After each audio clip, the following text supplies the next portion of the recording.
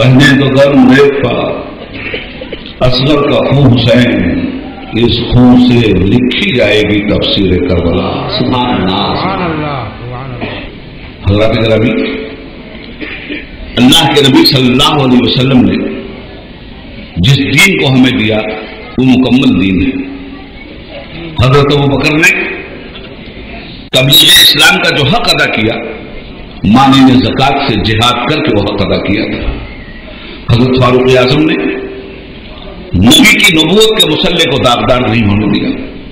हज़रत उस्मान ने अपनी गर्दन तो दे दी, मगर शहादत मतलूबा ना मिलने की बुनियाद पर उस आदमी को जो मुश्तबहा था, लोगों के हवाले नहीं किया, नतीजे में उन्हें अपनी गर्दन देनी पड़ी। गर्दन देना आसान था उनके लिए, मगर सुबह की बुनियाद पर किसी को मुलजिम गर्दानना उनके लिए आसान नहीं था। मौलाए कायनात की शहादत मस्जिद में हुई। ये सारी शहादतें, ये सारी मुसीबतें, ये सारी कुल्फतें सिर्फ़ एक बात साबित करती हैं कि हमें हर हाल में हक की शहादत देनी है। वक्त गुजरता गया। अल्लाह के नबी को दुनिया से तशरीफ़ ले गए हुए साठ साल हो गए। और साठ साल के बाद वक्त ने एक पलटा खाया। खिलाफत के नाम पर एक कश्मकश शुरू हुई। खिलाफत के नाम पर जंग का एक दरवाज़ा खुला। जो जंग करबला में इमाम हुसैन अलजदी वाले सलाम पर मुसलत की गई। यजीद ने अपने खलीफे इस्लाम होने का ऐलान किया।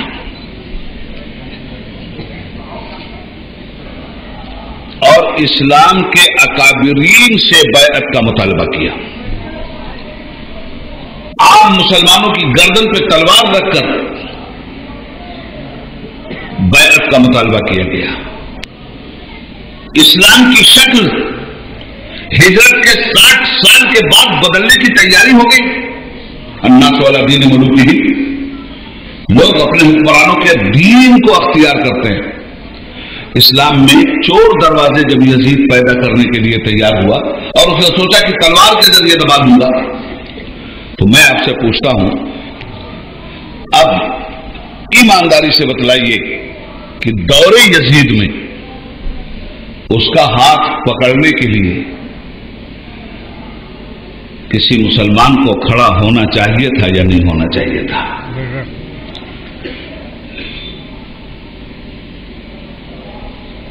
उसी ज़रूरत का नाम है इमाम हुसैन अला जद्दही वाले सलाम।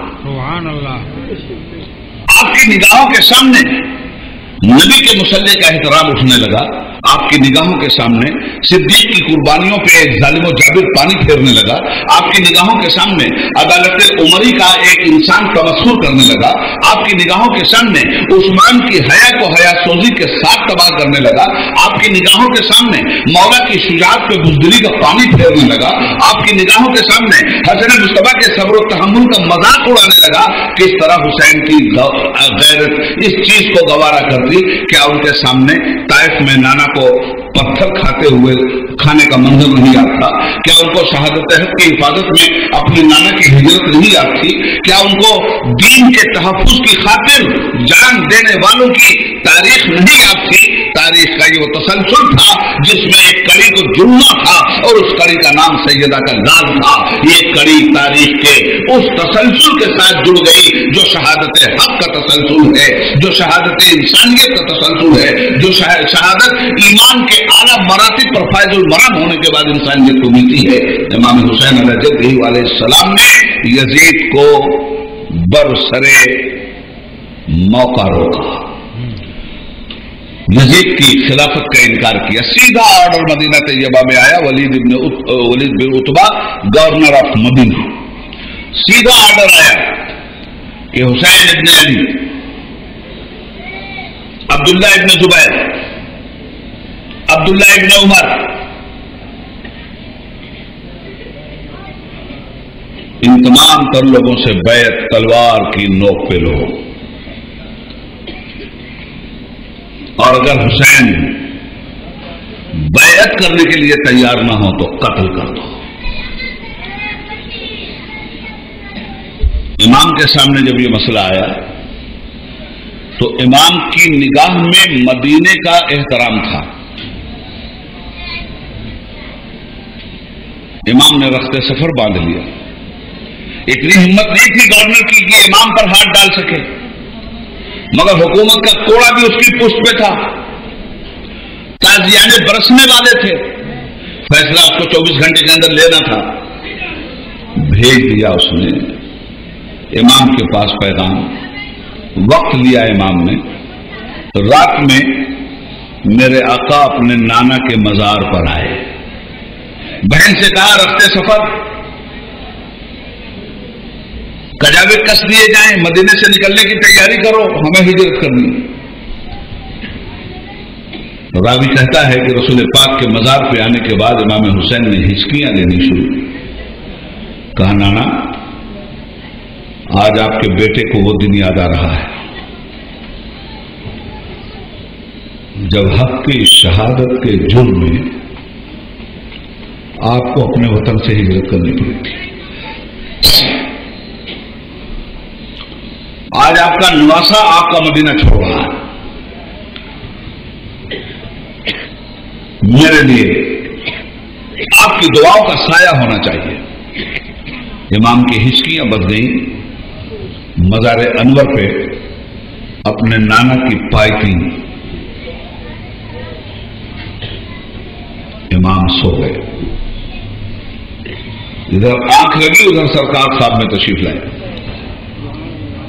सरवर कौन सल्लल्लाहु अलैहि वसल्लम ने अपने जान हुए मुकदस पे इमाम हुसैन सलाम का सर रखा।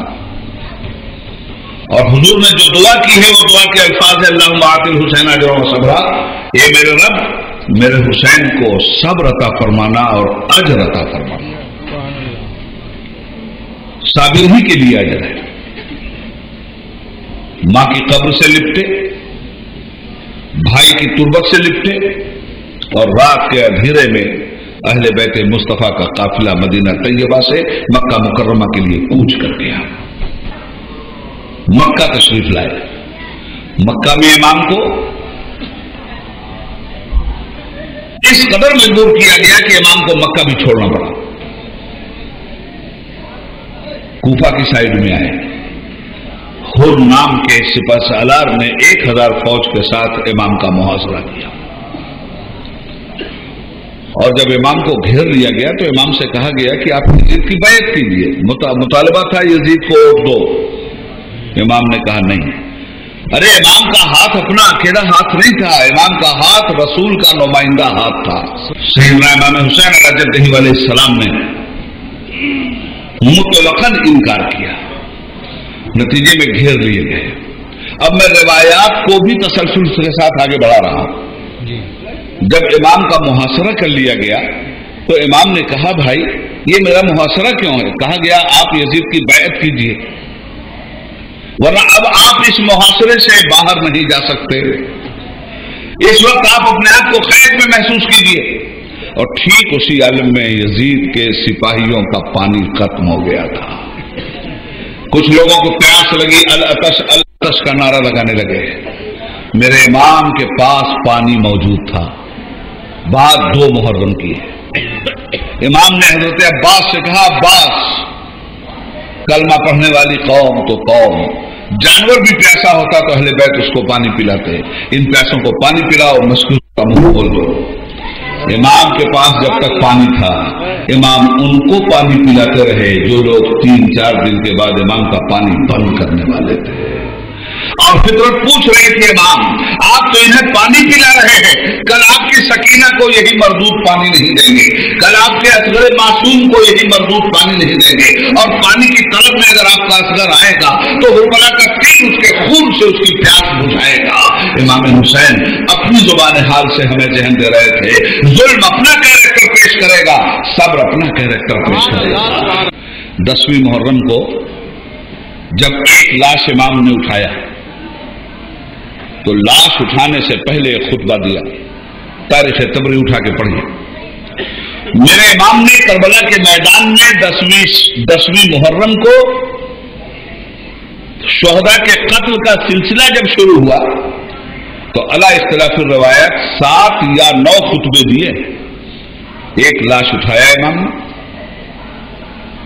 और इमाम खड़े हुए यजीदियों के सामने। और इमाम ने कहा, यजीदियों मुझे पहचानो। मैं कौन हूँ? तो लोगों ने कहा, आप हुसैन इब्ने अली। आपने यजीदियों से कहा, क्या मैं तुम्हारे नबी की बेटी का बेटा नहीं हूँ?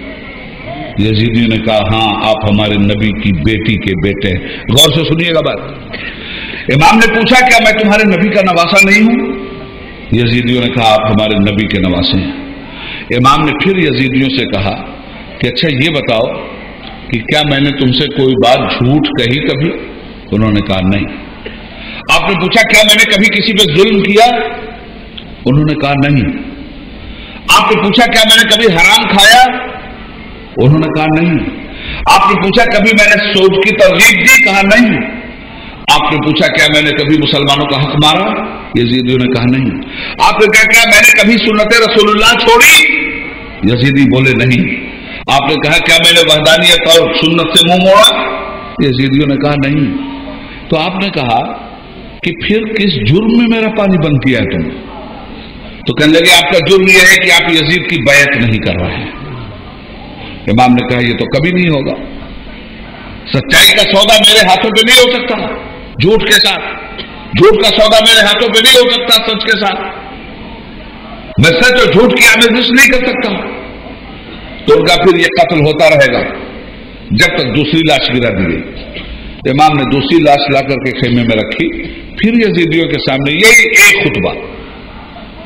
खुतबे में कोई तब्दीली नहीं। यजीदियों से पूछ रहे हैं, क्या मैं झूठ बोला? उन्होंने कहा, नहीं। क्या मैंने किसी पे जुल्म किया? उन्होंने कहा, नहीं। क्या मैंने कभी शराब पी? उन्होंने कहा, नहीं। क्या मैंने हदूद इलाही तोड़ा? उन्होंने कहा, नहीं। क्या मैंने शरीयत से गद्दारी की? उन्होंने कहा, नहीं, क्योंकि मुसलमानी होने का तो दावा था यजीदी फौज का। फिर मेरा पानी क्यों बंद? फिर मेरे लोगों को क्यों मार रहे हो? आप बैत नहीं कर रहे हैं। लाशें उठाते रहे इमाम और ही खुतबा देते रहे इमाम। एक ही खुतबा। अगर आपका, हमारा उस मुकद्दस रूह शहादत से कांटेक्ट हो तो हम अपने आका हुसैन से पूछेंगे कि, आका, जब हर खुतबे पे लाशें गिराई जा रही हैं। तो ये बार बार एक ही खुतबा आप क्यों दे रहे हैं। एक ही बात आप कह रहे हैं और एक ही बात यजीदी कह रहे हैं। अब इमाम हुसैन की रूह हमें जवाब देगी कि मुसलमानों मैं अपने नाना का सच्चा वारिस हूँ। मैं अपने नाना के दीन का दाई हूँ। मैं जानता हूँ कि मेरी भी गर्दन कटेगी। मगर यह सवाल करके मैंने इतमाम हुज्जत किया है करबला में। पढ़ा लिखा मजमा है, तवज्जो चाहूँगा। यह सवाल करके इतमाम हुज्जत किया है मैंने करबला में। क्या है इतमाम हुज्जत? कहा, मुसलमानों, अपनी तारीफ़ पे निगाह डालो। जब मेरे नाना ने तबलीग रसालत के फ़राइज अंजाम देने का सिलसिला शुरू किया तो उन्होंने कुफार मुशरकिन से कहा था कि, ऐ लोगों, मैं कौन हूँ? तो लोगों ने कहा, आप मोहम्मद बिन अब्दुल्ला मैं भी लोगों से पूछता हूँ कि मैं कौन हूँ? ये कहते हैं, आप हुसैन इब्ने अली फिर मैंने, मेरे नाना ने कहा था कि ए मक्का वालों, क्या कभी मैं झूठ बोला? मक्का वालों ने कहा, नहीं। क्या मैंने किसी का हक मारा? मक्का वालों ने कहा, नहीं। क्या मैंने अमानत में खयानत की? लोगों ने कहा, नहीं। तब रसूल पाक ने अपनी बात रखी। पहले अपनी जात पेश किया मुस्तफ़ा ने। जमाने ने रसूल की जात की तस्दीक की। मोहम्मद इबन अब्दुल्ला की तस्दीक की। मगर मोहम्मद इबन अब्दुल्ला ने जब रसूलुल्लाह की हैसियत से अपने को पेश किया तो ताइफ में वही जमाना पत्थर मार रहा है। मक्के में वही जमाना ऊँट की लीद पीठ पे डाल रहा है। मक्के की गलियों में वही जमाना पैर के नीचे कांटे बिछा रहा है, जो अमीन कह रहा था, जो सादिक कह रहा था, जो सच्चा कह रहा था। वही जमाना दारुल नदवा में बैठकर नबी के कत्ल की तदबीरें करता है। तो मेरे नाना ने जहन दिया था और उम्मत को क्यामत तक के लिए जहन दिया कि मेरे उम्मती हो तुम अपने दुश्मन के मुकाबले में जब भी आना तो अपने दुश्मन से अपने कैरेक्टर की तस्दीक करवा लेना। अगर मेरे नाना कत्ल भी कर दिए जाते। तो तारीख ये बोलती कि उन लोगों ने मोहम्मद मुस्तफ़ा को कत्ल किया, जिन लोगों ने उन्हें सच्चा भी कहा था, जिन लोगों ने उन्हें आदिल भी कहा था, जिन लोगों ने उन्हें अमीन भी कहा था। तो मेरे नाना ने यह जहन दिया कि गर्दन कटे तो कट जाने देना। कैरेक्टर की गर्दन मत कटने देना। अपने इखलाक की गर्दन मत कटने देना। अपने ईमान की गर्दन मत कटने देना। अपने अमाल की गर्दन मत कटने देना। आज करबला में उसी सुन्नत को तो दोहरा रहा हूँ। मरने से पहले यजीदियों से पूछ रहा हूँ, क्या मैं कभी झूठ बोला? यजीदी कह रहे हैं नहीं। क्या मैंने किसी पे जुल्म किया? यजीदी कह रहे हैं नहीं। क्या मैंने कलमे से बगावत की? यजीदी कह रहे हैं नहीं। अब अगर हुसैन कत्ल भी किए जाएँगे तो कयामत तक दुनिया सदाकत की तारीख इस बात की गवाही देगी कि उन लोगों ने करबला में इमाम को कत्ल किया था, जिन लोगों ने इमाम को सच्चा भी माना था, उन लोगों ने इमाम को करबला में कत्ल किया था, जिन लोगों ने इमाम को अमीन भी माना था, उन लोगों ने इमाम को करबला में कत्ल किया था, जिन लोगों ने इमाम को आदिल भी जाना था, उन लोगों ने करबला में इमाम को कत्ल किया था, जिन लोगों ने इमाम की खूबियों का एतराफ भी किया था। गर्दनें कटती है तो कटने दो, कैरेक्टर की गर्दन नहीं कटनी चाहिए। यजीद अपनी जमा, अपनी गर्दन बचाकर कैरेक्टर की गर्दन काट रहा था। यजीद अपनी गर्दन बचाकर इस्लामी शरीयत की गर्दन काट रहा था। अब दो ही चीज़ें सामने थी। या हुसैन की गर्दन कटती या हिल्लत हुरमत की गर्दन कटती। तो हुरमत के दो नुकतों को बचाने के लिए जैनब ने अपने दो नुकते अनु मोहम्मद की शक्ल में कुर्बान कर दिए। मगर हुरमत की दो नुकतों को कुर्बान नहीं होने दिया बहुत ही नफसियाती गुफ्तगु कर रहा हूँ। और इसको बहुत नफ्सियाती एतवार से समझने की कोशिश कीजिए। ये मामूली बात नहीं है। ये शहादत यूँ ही जलवा कर देंगे। इस शहादत पे यूँ ही आँसू नहीं बहाए जाते। इस शहादत पे यूँ ही दुनिया मातम नहीं करती। इस शहादत पर यूँ ही आंसुओं के सैलाब, आँखों की नहर के ज़रिए रवा नहीं होते। ये शहादत है उस मजलूम की। जिसने हमारे तर्ज हयात की पासबानी करबला में की। ये शहादत उस मजलूम की जिसमें जिसने निज़ाम हयात इंसानी की लाज करबला में रखी। ये शहादत है उस मजलूम की जिसने जुल्म का कलेजा हमेशा के लिए पास पास कर दिया। आज यजीद भी एक कैरेक्टर है हमारे सामने। हुसैन भी एक कैरेक्टर है हमारे सामने। यजीद कैरेक्टर है जिहालत का। हुसैन कैरेक्टर है तालीम इस्लाम के। यजीद कैरेक्टर है जुल्मत का। हुसैन कैरेक्टर है रोशनी के यजीद मीनार है बुराई का हुसैन मीनार है भलाई के यजीद मीनार है बेहयाई का हुसैन मीनार है हया के यजीद मीनार है बेईमानी का हुसैन मीनार है उसमें ईमान के यजीद मीनार है बदमली का हुसैन मीनार है सालहियत के यजीद मीनार है बदखलाकी का इमाम हुसैन मीनार है अखलाक के यजीद मदनीयत को खारिज करने वाला आइडियल है हुसैनियत मदनीयत को ज़िंदा करने का आइडियल है। यजीद बगावत की राह पे चलने वाले कैरेक्टर का नाम है। ये हुसैन जान देकर इस्लाम की हिमायत और ताबेदारी करने वाले कैरेक्टर का नाम है। यजीद ज़मीन की पस्ती है तो हुसैन आसमान की बुलंदी है। यजीद जुल्म सितम का पैकर है तो हुसैन सब्र अदल के पैकर है। और आज करबला की सरजमीन पर दुनिया इंसानियत के जुल्म और मजलूमियत की सारी तारीखें जमा कर दी गई थी। सारे जहान का जुल्म करबला में दसवीं मुहर्रम को मौजूद था। हर वो जुल्म मौजूद था करबला में, जो तबलीग रसालत के फरीजे की बुनियाद पर नबियों पर आजमाया गया था। हम करबला में अगर देखें तो हाबील की वो दुआ भी मौजूद थी, जो अपने कातिल के बारे में भी खामोश लबों से हमदर्दी का इजहार कर रही थी। मेरे इमाम ने भी कहा था, मेरे कत्ल से बचो, मेरे खून में अपनी आस्तीन मत भिगो। कल मैदान मैशर में अल्लाह को क्या जवाब दोगे? मेरा खून तुम्हें महँगा पड़ेगा। मेरे खून की वजह से तुम अजाब में मुबतला हो जाओ, हो जाओगे। अरे, ये कातिल के साथ हमदर्दी ही तो थी। एक कातिल को जहन्नम से बचाने की ये दुआ ही तो थी। मेरे इमाम आज करबला में जब खड़े हैं तो सारे जहान का जुल्म अपनी पूरी ताकत के साथ खड़ा है। करबल की सरजमीन पर हुसैन की शक्ल में आदम की आदमियत मौजूद है, नूह की शुजात मौजूद है, यहिया की शहादत भी मौजूद है, जकरिया की मासूमियत भी मौजूद है, मूसा का जलाल, ईसा का जमाल भी मौजूद है और यजीद की शक्ल में नमरूद भी वहाँ मौजूद है हामान भी मौजूद है शद्दाद भी मौजूद है अबू जहल भी मौजूद है अबू लहब भी मौजूद है। गोया जुल्म के जितने कैरेक्टर हैं करबला की सरजमीन पे सब आजमाए जा रहे हैं। और सब्र के जितने पैकर हैं आसमान रुश्तो हिदायत से करबला में सब उतार दिए गए। अब जरा जुल्म और जब्र का मुकाबला देखो अदल से। कैसा हो रहा है जुल्म और जब्र का मुकाबला? एक तरफ़ रात भर तदबीर की जाती है कि जितने जल्द हो सके दसवीं मुहर्रम को निमटा दो।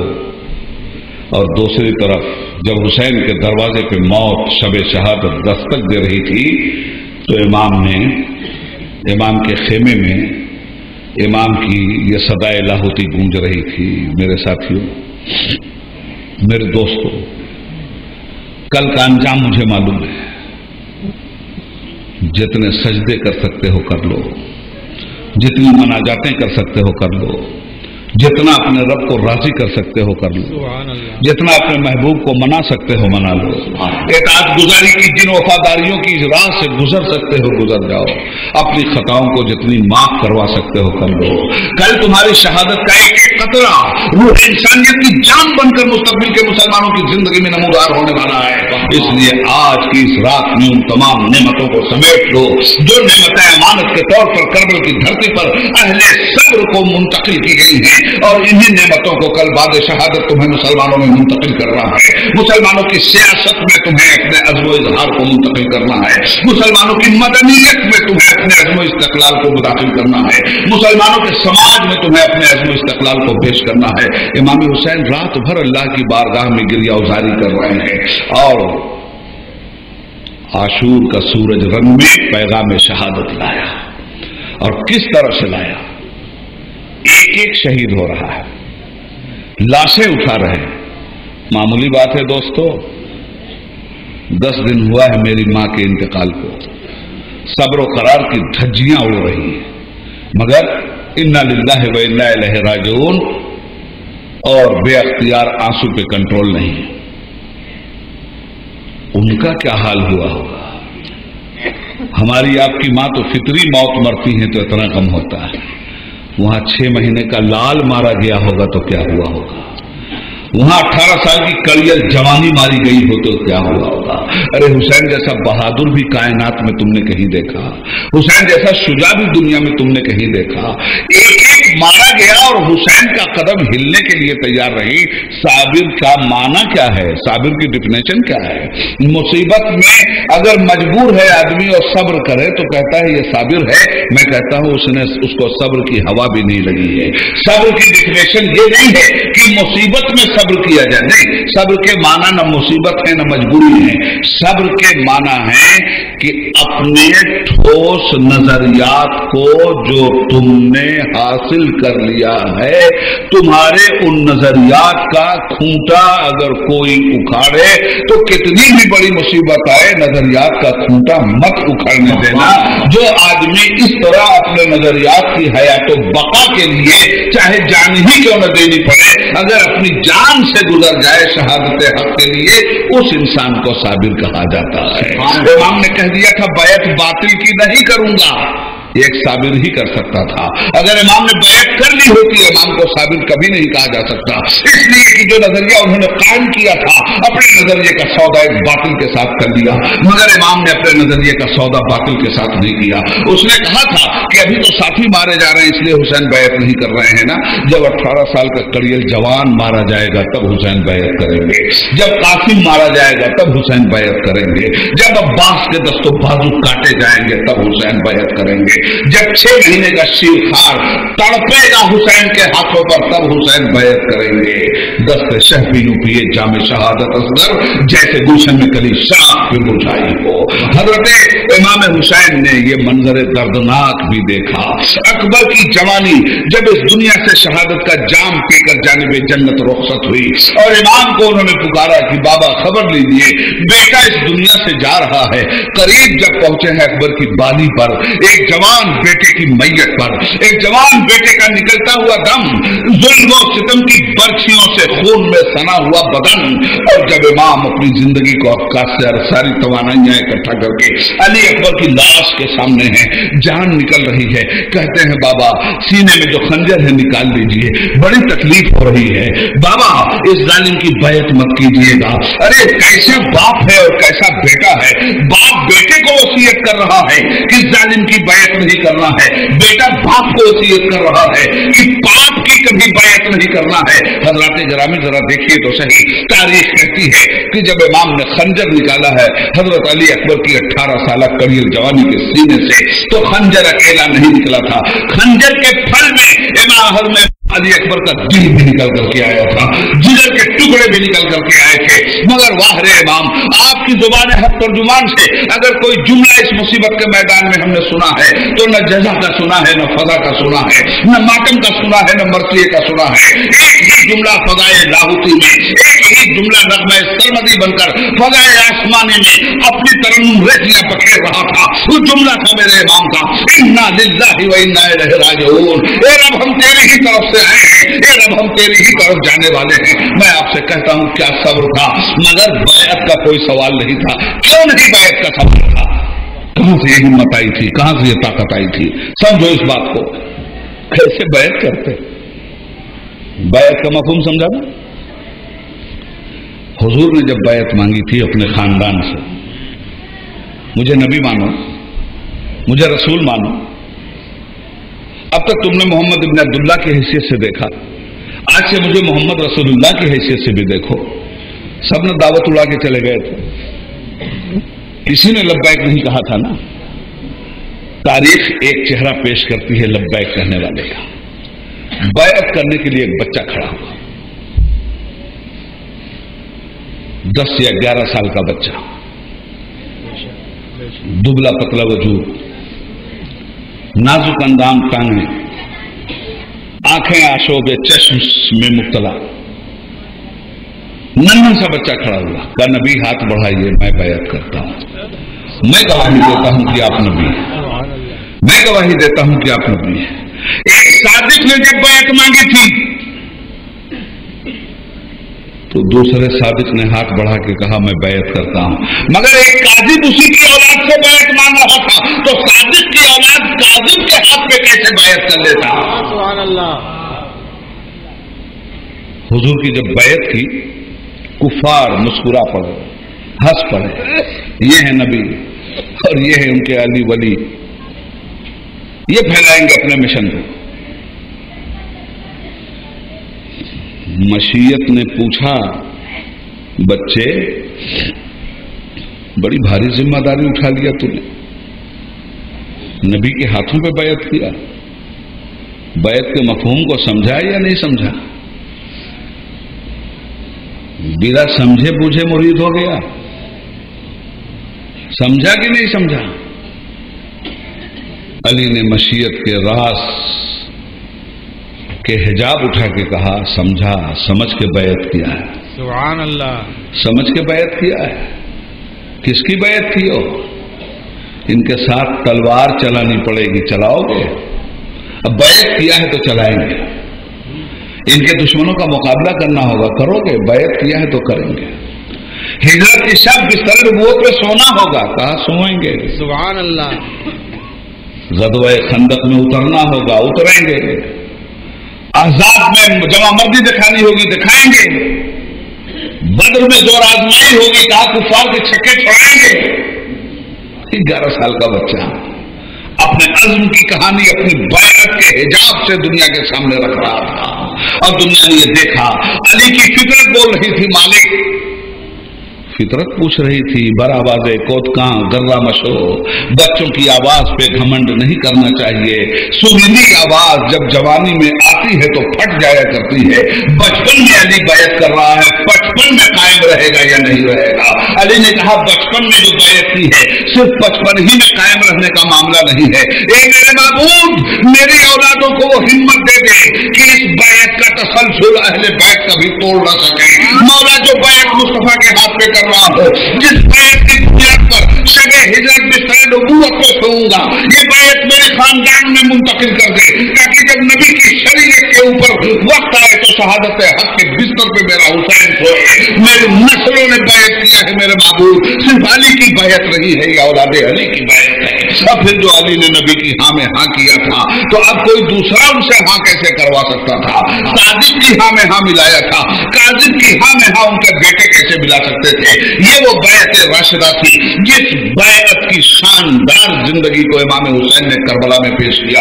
एक बच्चा था जो यजीद की बैत से राज़ी हो जाए अरे, किसी बच्चे ने तो कह दिया होता, बाबा बहुत तकलीफ़ हो रही है पतैया कर लीजिए, बाबा बहुत बैत हो रही है, थोड़ी देर के लिए मान लीजिए, बाबा बहुत तकलीफ़ हो रही है, मसलहत से काम ले लीजिए। किसी एक ने कहा हो, कसम खुदा की बैत का मफहूम, अक्ल वालों ने समझा तो क्या समझा? छह महीने के असगर ने भी बैत का मफहूम समझा था। और कैसे जान दे दिया? बैत के लिए अपने बाप को मजबूर ऐसी बैत नहीं, बातिल के हाथ में बैत नहीं हो सकती। माँ, ये है, इस्लाम की नजाकत को समझिए, इस्लाम के कानून की हकानियत को समझिए, इस्लाम के अफतरियत को समझिए। निज़ाम मुस्तफ़ा को समझिए। बैत नहीं की। और फिर क्या हुआ? लाशें छलनी कर दी गई। दस दस्तों बाजुए अब्बास काट लिए गए। सकाए सकीना अपनी सकीना की चौखट तक फरात का पानी नहीं पहुँचा सका लबे हुसैन तक फरात का पानी नहीं पहुँचा। मैं तो कहता हूँ, फरात, तू बदनसीब था। अगर हुसैन तक तू पहुँच गया होता तो आज मुसलमान तुझे चाहे जमजम की तरह तबरुक बना के रखते ये तेरी बदनसीबी थी कि तू हुसैन के लबों तक नहीं पहुँचा। और जब इस तरह हरम की लौ झिलमिला रही थी, जब इस तरह हरम का चिराग झिलमिला रहा था तो जहरा का लाल अपना लहू दान करने के लिए मैदान करबला गया था। लौ थरथरा रही थी हरम के चिराग की जहरा के लाल अपना लहू दान कर गए। और जहरा के लाल इस तरह से करबला के मैदान में उतरे कि सत्ताए शकीना पानी नहीं दे सका। किस बेरहमी के साथ सत्ताए सकीना के मशकिजे को छलनी किया गया। अली का लाल पानी ले चुका था। फौज अश्किया को डांट डपट के हटा चुका था। शिवरदीन जौशन ने कहा, इतने तीर मारो, इतने तीर मारो मस्किजे पे कि खेमे हुसैन में जाने से पहले पानी का एक एक कतरा करबला के रेतीले जर्रों के सीनों में जज्ब हो जाए। और वही हुआ कि सकाए सकीना ने बाबे सकीना पे दम तोड़ दिया भाई की लाश लेकर इमाम आए और फिर उस नन्ही सी बच्ची, मजलूम सी बच्ची के एहसास नाजुक का मुताला कीजिए। सकीना चचा के सिरहाने आकर बैठती हैं। और कहती हैं, चचा, आँखें खोलिए। मेरा जुर्म था कि मैंने पानी के लिए आपको भेजा था। मुझे नहीं मालूम था कि मेरे चचा के साथ इस तरह दरिंदगी का मुजाहरा ये लोग करेंगे।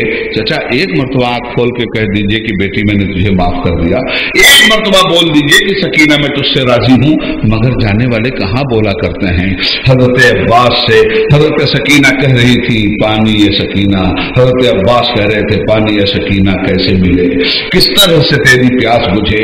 है नहर पे दुश्मन की फौजें, फौलाद की दीवारों की तरह। हज़रत हुसैन की मंजिल आती है और इमाम हुसैन हज़रत जैनब से कहते हैं कि जैनब, सारे बच्चों ने शहादत का जाम पी लिया है। मगर ये जंग तो उस वक्त तक खत्म नहीं होगी, जब तक हुसैन का सर यजीदी काट नहीं लेंगे अब फातिमा के लाल का आखिरी दीदार कर लो। मैं अब अपने रब के हुजूर जा रहा हूँ। हयात सरमदी के हवाले से जा रहा हूँ। देखिए, अब औरतों का कैरेक्टर भी देख लीजिए, बहन का कैरेक्टर भी देख लीजिए शहर बानों का भी कैरेक्टर देख लीजिए। शहर बानों से भी इमाम हुसैन ने कहा था रात में अरे ईरान की शहजादी। बड़ी नेमतों में पाली है तू बड़ी नजाकतों के साथ पाली गई है तू हज़रत उमर ने तेरा निकाह मेरे साथ पढ़ाया था। ये भी बात सुन लीजिए अच्छी तरह से। आदिल थे हज़रत उमर, जब शहरबानो गिरफ़्तार होकर आई इमाम हुसैन उस जंग में नहीं थे। जब बटने लगी गनीमतें, शहरबानों के हुस्न पर, शहजादी ईरान पर, हर मुजाहिद की नज़र थी। हर मुजाहिद चाहता था कि शहजादी ईरान उसका हिस्सा हो। हज़रत उमर ने नज़र उठाई और इशाद फरमाया, शहजादी, अगर किसी सिपाही के साथ मैं तेरा निकाह कर दूँ तो कल दुनिया ये कहेगी कि उमर कैसा आदिल था। ये उमर का कैसा इंसाफ था कि एक शहजादी के नाजुक खरामियों को और नजाकत तबाह को भी नहीं समझ सका। शहजादी भी परेशान थी कि होने वाला क्या है। मुजाहिदीन भी परेशान थे कि मालूम नहीं किसके नाम का इंतखाब होता है। एक निगाह घुमाई अमीर हज़रत उमर में और फरमाया, हुसैन कहाँ इमाम को घर से बुलाया गया। और शहजादी ईरान से आपने फरमाया शहजादी तू दुनिया की शहजादी है। तेरे साथ बराबर का इंसाफ होगा। तेरी शादी में दीन के शहजादे से करूँगा। तो दुनिया की शहजादी है मैं जन्नत के शहजादे से तेरी शादी करने जा रहा हूँ। तू फख्र करेगी तेरा खानदान फख्र करेगा। ये वो शहजादा है जिस रसोल्ला चूमते भी थे और सुनते भी थे। और शहर बानों का निकाह हज़रत उमर ने खुद पढ़ाया है। और फिर जाफरी का एक नाजुक सा मसला है कि कोई काफिर किसी मुसलमान का निकाह नहीं पढ़ा सकता। ये हज़रत उमर फारूक रज़ी अल्लाह हो के अक्सरियत सामने आती है। हज़रत ग्रामी आपने शहरबानों से फरमाया, शहरबानों तुम वापस चली जाओ। किस मुसीबत के माहौल में तुम हो? तुम अपने बच्चों की हिफाजत करो। शहरे बानो। ईमान और इस्लाम की नेमत से मालामाल शहरे बानो। शहजादे जन्नत की हम रफीक सफ़र शहरे बानो। सैयदा के लाल की रफीक हयात शहरे बानो। सैयदा की बहू शहरे बानो। उन्होंने कहा, हुसैन मैं अपने बच्चों को बचा के निकल जाऊँ और फातिमा की कोख उजड़ जाए, कल अगर मुझसे यह सवाल हुआ कि मेरा लाल खून में तड़प रहा था और शहर बानो तुमने तुमने हक रफाकत अदा नहीं किया। एक एक को इमाम ने समझाया था, कोई हिलने के लिए तैयार नहीं था। सुबह में आखिरी दीदार है इमाम का। सारे लोग शहीद हो चुके हैं। जिस वक्त इमाम ने फरमाया कि भाई हसन का पटका लाओ।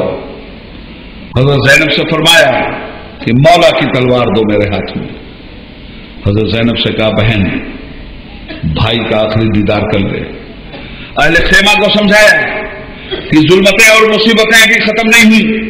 हज़रत जैनब से एक तारीखी जुमला फरमाया था कि जैनब, मुझ पर बाबे शहादत बंद हो जाएगा। मगर जो ही मुझ पर बाबे शहादत बंद हो जाएगा, तुम पर बाबे असीरी खुल जाएगा। इसलिए शहीदों की इमामत और क्यादत तो मैं कर रहा था, असीरों की इमाम तुम बन जाना, असीरों की कायद तुम बन जाना।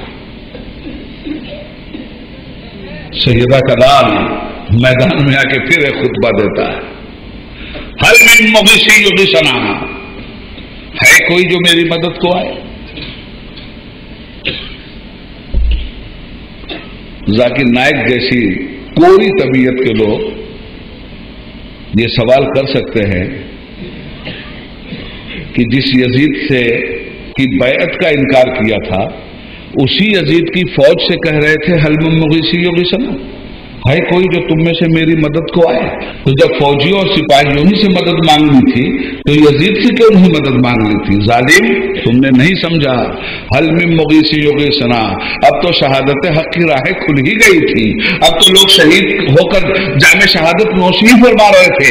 इमाम के फरमाने का यह मतलब नहीं है कि है कोई जो मेरी मदद के लिए आए। इमाम के फरमाने का मतलब यह था, अरे अब भी अगर कोई तुम्हारे पास सईद रूह है, जो जहन्नम से निकलकर जन्नत जाने के लिए मेरी रिफाकत में गला कटा के शहादत हक की गवाही अपने खून से दे। हज़रत ग्रामी बहत्तर जख्मों से चूर इमाम जिस वक्त ज़मीन पे गिरे हैं उस वक्त भी आपने पूछा है कि किबला किधर है? और बड़ी तेज़ी के साथ चंद नफस बाकी रह गई थी। अल्लाह की बारगाह में उम्रें नहीं लिखी जाती, गिनी जाती। अल्लाह की बारगाह में साँसें नोट की जाती हैं। जितनी सांस है उससे ज़्यादा सांस आप नहीं गुजार सकते। ऊपर सांस गई है और ज़िंदगी खत्म है तो नीचे नहीं आ सकती। नीचे सांस आई है और ज़िंदगी खत्म है तो ऊपर नहीं जा सकती। इमाम हुसैन की अभी चंद साँसें बाकी थी। उसी आलम में तड़प के पूछा, किबला किधर है? और बताने वाले ने भी उसी हैबत में बता दिया कि किबला घर है। इमाम ने अपना सर किबले की तरफ़ डाला सुबहान रब्बे डाला और आँखें बोल रही थी इमाम की, ज़ुबान हाल से इमाम का वजूद बोल रहा था, मौला देख मैं तेरी बारगाह में किस तरह आ रहा हूँ। एक करबला की रेत, गवाह रहना, सजदा मेरे बाप अली की अमानत है। कि अली ने सजदे के आलम में शाहजहा में शहादत नोश किया है। सजदा मेरी, मेरे ईमान की अमानत है। और ए हुसैन के नाम पे रोने वालों, ए हुसैन के गम में रोने वालों, ए हुसैन का नारा लगाने वालों, तुम भी अच्छी तरह से जहन में रख लेना। वक्त शहादत भी सजदे को मैं फरामोश नहीं कर सका हूँ। तुम भी नमाजों को फरामोश मत कर रहा यही सजदे मेरी पहचान है। शहादत हक की पहचान यही सजदे हैं। ज़मीन पर अल्लाह की इताद की पहचान यही सजदे हैं। मैंने अपने मालिक को राज़ी कर लिया है। और हुसैन की शहादत अपने मौला से कह रही थी मालिक, वज़ू करने के लिए पानी नहीं मिला। मगर मालिक आज तेरा हुसैन अपने खून में नहा कर वज़ू कर रहा है। मौला, ये वज़ू तुझे पसंद आया कि नहीं? मालिक, ये इबादत तुझे पसंद आई कि नहीं? मौला, ये सजदा तुझे पसंद आया कि नहीं? और आसमान गैरत से आवाज़ आ रही थी। या आ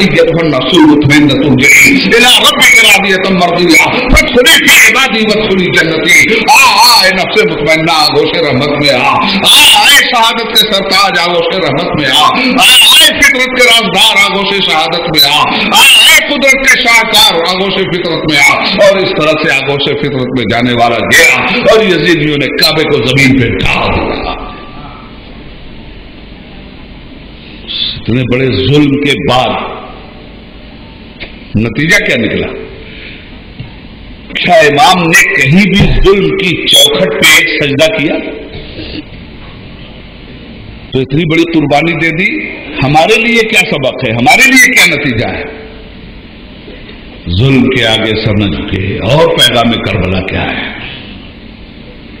फासिकों की इतात कबूल नहीं की जा सकती।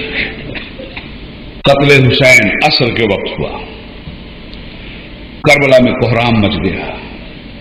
अंधेरा छा गया। और उसके बाद जालिमों ने खेमे की तरफ़ अपने कदम बढ़ा दिए। वो रदाय ततहीर छीन ली गई। हज़रत जैनब की चादर छीनी गई। खेमे में आग लगा दी गई। हज़रत जैनब ने करबला की रेती गर्म रेत पर सजदा किया। अपने मालिक की तरफ़ नज़र उठाया और मदीना तैयबा की तरफ़ रुख करके कहा, नाना, दुहाई है आपकी। ए नाना, जरा देखिए करबला में क्या हो रहा है। जिस उम्मत की औरतों को आपने हिजाब अदा फरमाया था, उसी उम्मत ने आपकी बेटी का हिजाब करबला में छीन दिया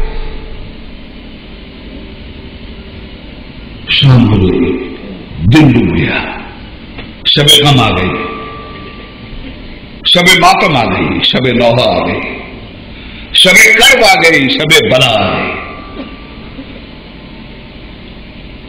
हज़रत सकीना पे बेहोशी का आलम तारी। और बेहोशी एक लंबी बेहोशी। जब उनके बाबा जा रहे थे मक्तल में, अपने घोड़े को एड़ लगाई थी इमाम ने। और फरमाया था, चल मेरे गाजी बिस्मिल्ला तो वो घोड़ा जो हवा की तरह उड़ता था, इशारा पाके। जब इमाम अपनी शहादत की राह पे गए तो घोड़ा हिलने के लिए तैयार नहीं था।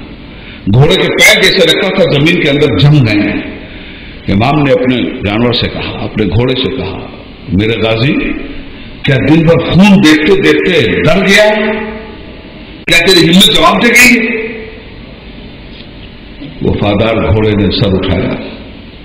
उसकी आँखों से अश्क गम रमा थे। और फितरत की ज़ुबान को समझने का सलीका इमाम हुसैन जल्दी वाले सलाम को आता था, जिसके नाना जानवरों की ज़ुबान समझते हैं। उसके नवासे को भी ये मार्फत अता हुई थी। आज घोड़ा देखता है इमाम हुसैन को दुलदुल और रोता है।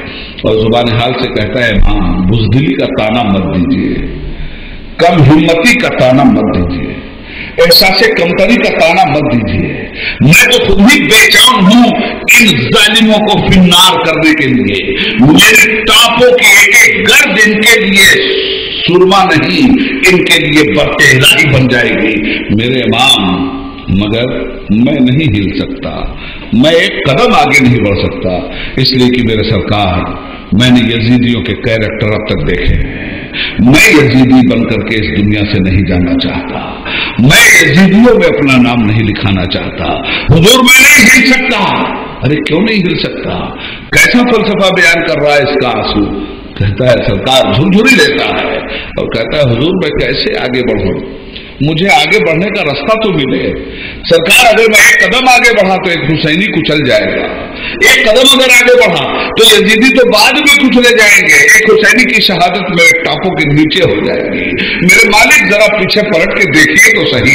इमाम ने जब पलट के पीछे देखा तो इमाम की मासूम बेटी हज़रत सकीना ने घोड़े का पैर हाथों से पकड़ रखा था और चीख रही थी, मत ले मेरे बाबा को, मैं जानती हूँ कि जाने वाला जा रहा है। और शहादत का दूल्हा बन के वापस आएगा इस कर्नाक मंजर के माहौल में शहादत देखने को हमें मिलती है। शाम हो गई। आमिर इब्न साहब की कैबिनेट बैठी। और उसने अपने सिपाहियों से कहा, अफसरों से कहा, देखो, हुसैन से जंग थी। हुसैन को हमने कत्ल कर दिया। दरिया दूर था। पाँच हज़ार सिपाही दरिया पे लगे हुए थे फराक थे। जब उनको मालूम हुआ कि जंग खत्म हो गई, वो जंग में शरीक नहीं तो उन्होंने खुशी के मारे तलवारें लहराई कि लगता है कि हुसैन ने बैत कर ली। चलो, हम जीत गए। मगर यहाँ आके देखा तो तलवारें शर्मिंदा थी। हुसैन ने बैत नहीं की थी। कुछ लोग कहते हैं कि यजीद जीत गया था। हुसैन हार गए। थे मैं उनको हार और जीत का फलसफा समझाना चाहता हूँ कि जंग के फैसले बॉर्डर पे नहीं होते। जंग के फैसले तारीख किया करती है। किसी शायर ने हज़रत कहा था कि वकारे खूने शहीदाने करबला की कसम। यजीद मूर्चा जीता है जंग हारा। उसने ये सोच के कहा कि मूर्चे पे इमाम हुसैन मारे गए थे। यजीद को कामयाबी मिली थी। इसलिए वो मूर्छा तो जीत गया। मगर जमाने की निगाहों में हमेशा गिर के इस जंग को वो हार गया। मैं उस शायर पर उसकी नीयत पर कोई हमला नहीं करता। मगर उस शायर को भी और आपको भी ये जहन रसा ज़रूर देना चाहूँगा कि बातिल न जंग जीत सकता है न मूर्छा जीत सकता है। बातिल मूर्चे पे भी हारता है और जंग में भी हारता है। इसलिए इस शेर में उबैदुल्ला आजमी थोड़ी सी तरमीम करता है। वकारे खूने शहीदाने करबला की कसम यजीद मूर्छा और जंग दोनों हारा है। अल्लाह। और जंग दोनों हारा है मोर्चे पे तो इमाम हुसैन कत्ल हुआ है। तो सूरत हाल तो ये बता रही कि इमाम हुसैन आ रहे हैं। यहाँ इमाम हुसैन कैसे जीते हैं? तो एक नुक्ता दे दूँ आपको। जंग किस लिए हुई थी? जिस मुद्दे पे जंग होती है वो मुद्दा जिसके पास रहता है जंग और मोर्चा वो जीतता है। सुबह अल्लाह सुबह अल्लाह और साफ़ कर दूँ इस बात को? जंग हुई थी एक बात पर। यजीद कहता था बैत लेके रहूँगा हाथ लूँगा। बैत लूँगा। इमाम हुसैन ने कहा था बैत कभी नहीं करूँगा। बस इन दो जुमलों में जंग और मूर्छे दोनों के अंजाम का जायजा लिया जा सकता है। अगर हुसैन ने हाथ दे दिया है तो हुसैन मूर्छा भी हारे हैं और जंग भी हारे हैं। और अगर हुसैन ने यजीद के हाथ पे हाथ नहीं दिया है तो यजीद तो हाथ लेने में भी नाकाम हुआ है। इसलिए मूर्छे में भी हारा है और जंग में भी हारा है और मुस्तकबिल में भी हारा है। लड़ाई इस बात की थोड़ी थी। कि अगर मैंने पानी बंद कर दिया हुसैन तो मैं जीत जाऊँगा और तुम पानी पीने में कामयाब हो गए फरात का तो तुम जीत जाओगे। लड़ाई इस बात की नहीं थी कि अगर असगर को बचाने में तुम कामयाब हो गए तो तुम जीत जाओगे और असगर को मारने में मैं कामयाब हुआ तो मैं जीत जाऊँगा। लड़ाई इस बात की नहीं थी कि तुम्हारा खेमा उजाड़ने में मैं कामयाब हुआ तो मैं जीत जाऊँगा और तुम अपना खेमा बचाने में कामयाब हुए तो तुम जीत जाओगे। नहीं, इस बात की लड़ाई नहीं थी। लड़ाई थी बैत और अदब बैत की। हुसैन बैत करते नहीं। अगर हुसैन बैत कर लेते हैं तो यजीद जीत रहा है हुसैन हार रहे हैं। और अगर यजीद की बैत नहीं कर रहे हैं तो हुसैन जीत रहे हैं। यजीद हमेशा के लिए हार रहा बहुत अच्छी बात है बहुत अच्छा आखिरी बात कह के बात खत्म करूँ। सब्र का मंजर दिखलाता हूँ आपको और जुल्म का पैकर भी दिखलाता हूँ आपको।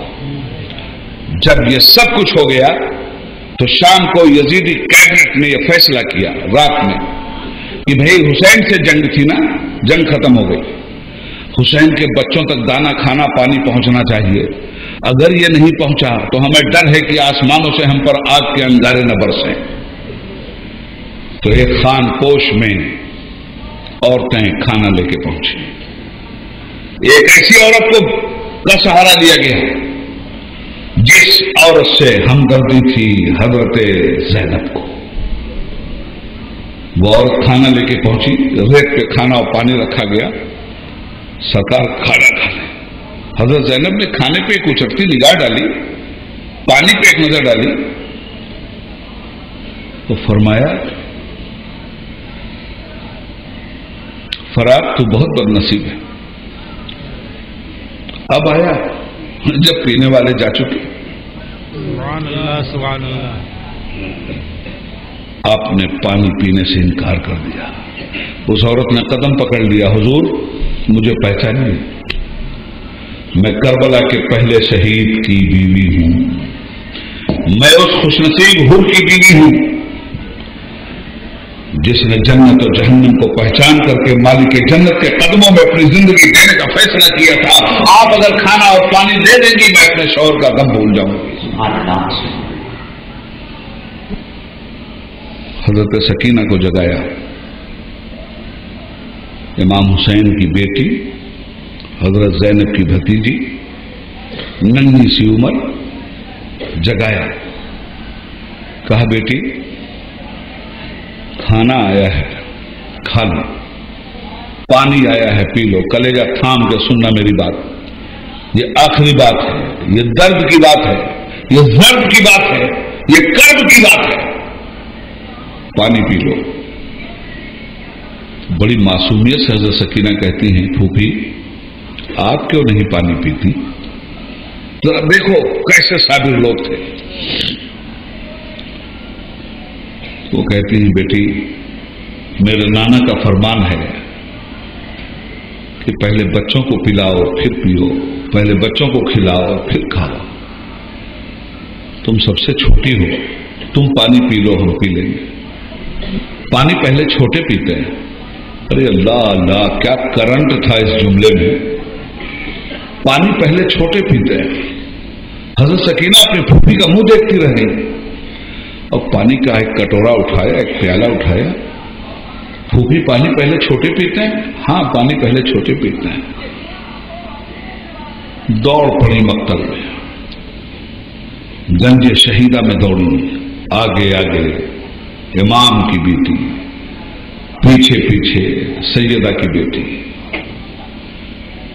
गंगे शहीदा में पहुँची जहाँ शहीदों की लाशें तोड़ मरोड़ कर इकट्ठा की गई। पानी का प्याला आपने ज़मीन पर रखा और लाशों को हटाने लगी। हज़रत जैनब ने समझा कि बच्ची दिन भर खून देखते देखते कहीं इसके अवसान तो खता नहीं हो गए। बड़ी ही तेज़ी से अपनी बच्ची की बलाई लेने लगी। मेरी बेटी, क्या हो रहा है? क्या कर रही हो? कहा, फूफी, कुछ नहीं हो रहा है। हम मदीने से एक हीरा लाए थे। हमारा हीरा खो गया है, फूफी। हम अपना हीरा तलाश कर रहे हैं। मदीने से हम एक अनमोल नगीना लाए थे, फूफी। मदीने से हमारा हीरा नगोना छूट लिया है। हम उसी को तलाश कर रहे हैं। कौन सा नगीना ये तलाश कर रही है? लाशें हटा रही हैं कटाकटी लाशें कटी कटी लाशें। और उसके बाद एक व्यक्त पुकार थी फूफी हमारा नगीना हमें मिल गया।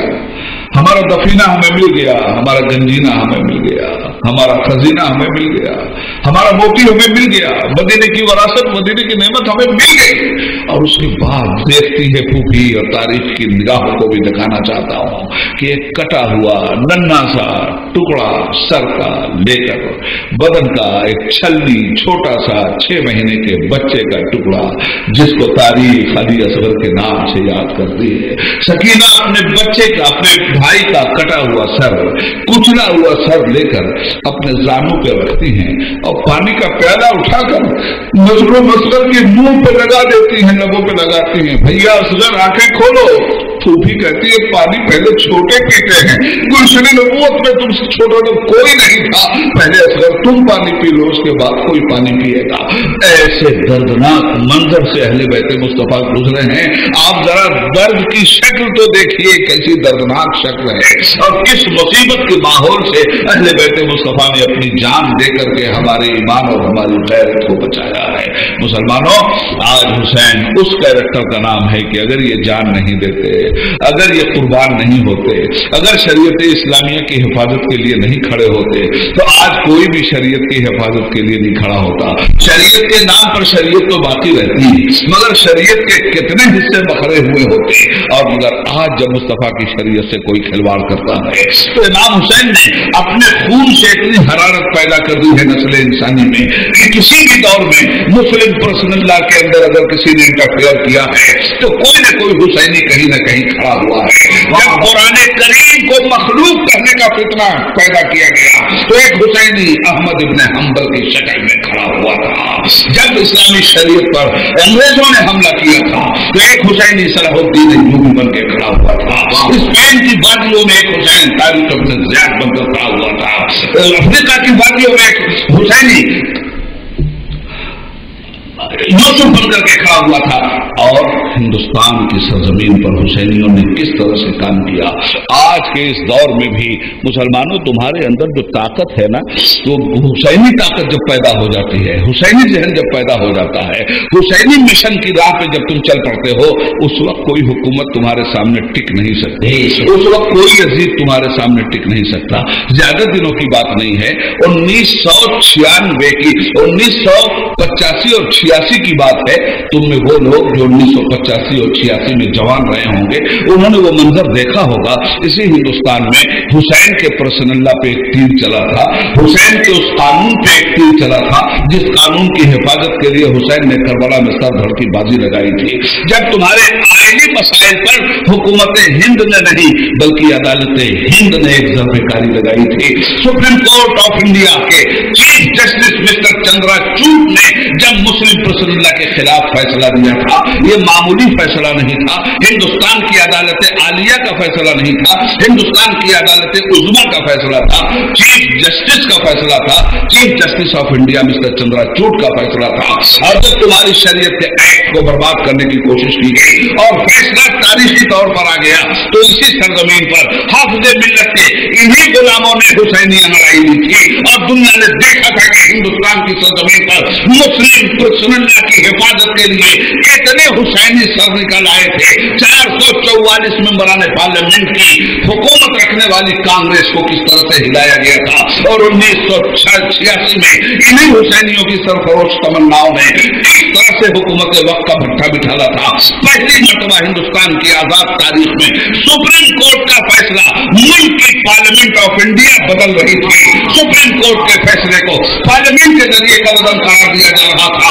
यह हुसैन का दिया हुआ जहन था कि जिस जमाने में भी इस्लामी कानून के साथ कोई भी छेड़छाड़ करेगा, चाहे वो दाढ़ी वाला छेड़छाड़ करे, चाहे वो चोटी वाला छेड़छाड़ करे, न चोटी वाला बर्दाश्त किया जाएगा, न दाढ़ी वाला बर्दाश्त किया जाएगा। है कौले मोहम्मद, कौले खुदा, फरमान न बदला जाएगा। बदलेगा जमाना लाख मगर न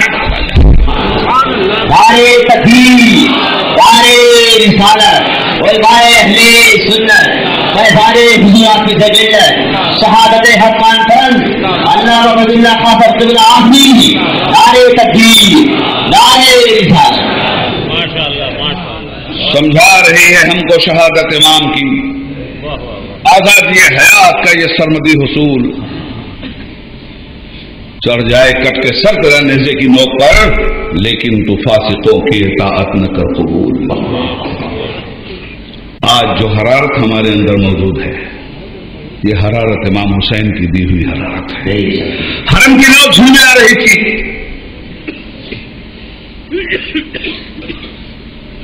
किसने खून का दिया जलाया था?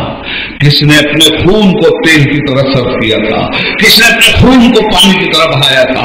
जब हक का मिजाज मजरू होता है तो हरम का चिराग झिलमिलाने लगता है। जब ईमान की बुनियादें मुसलमानों की कमज़ोर होती हैं तो हरम के चिराग में झिलमिलाहट आ जाती है। हरम के चिराग की लौ थरथराती है। जब खुश अखलाकियाँ बद अखलाकियों में तब्दील होती हैं तो हरम के चिराग की लौ थरथराती है। और वो वक्त था यजीदी नापकारों का कि हरम का चिराग ही बुझाना चाहते थे तो किसी खुश अकीदा शायर ने गालिबन हबीब हाशमी ने उन्होंने बड़ी प्यारी बात इस दौर में कह दी, लौ थर थरा रही थी, हरम के चिराग की, जहरा के लाल अपना लहू दान कर गए ये उनके लहू के दान करने की वजह है, जो आज हमें ओरिजिनल इस्लाम, सही इस्लाम मिला हुआ है। इस्लामी सियासत उसूल शरीयत पर चलेगी, तबीयत पर नहीं चल सकती। उसी उसूल शरीयत की बहाली के लिए इमाम हुसैन ने अपनी शहादत का तारीखी वाकया तारीख में दर्ज करके क्यामत की सुबह तक मुसलमानों को हौसला दिया। हासिल कलाम एक लफ्ज में, दुनिया में जंगें हो रही हैं, मजलूम की हिमायत में भी लोग खड़े हो रहे हैं और जालिम की हिमायत में भी लोग खड़े हो रहे हैं। मगर ये दोनों का रेकॉर्ड अब सामने है। जहाँ जहाँ से जुल्म के अंगारे बरस रहे हैं। उन अंगारों के पीछे कयादत यजीद की है और जहाँ जहाँ मजलूमों की हिमायत में तलवारें उठ रही हैं, उन तलवारों के पीछे कयादत हुसैन की है। यजीदियत मुर्दाबाद, हुसैनियत जिंदाबाद। इन अल्लाह साबरीन, अल्लाह साबिरों के साथ है।